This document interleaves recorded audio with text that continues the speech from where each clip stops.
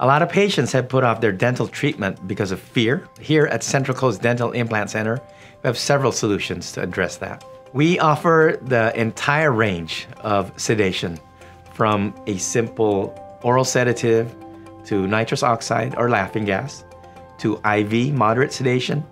And we go to the deeper, deeper sedation. We do have dentist anesthesiologists on our team that's able to administer deep sedation or general anesthesia.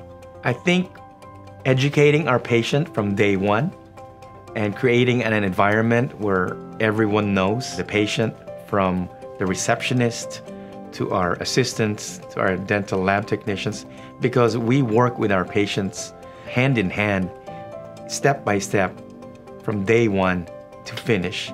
And uh, i think creating a team where everyone knows our patients not just by name but we're actually what we're doing to establish for them uh, helps alleviate the patient's fears. Dental disease is a progressive disease, whether it be cavities or periodontal disease.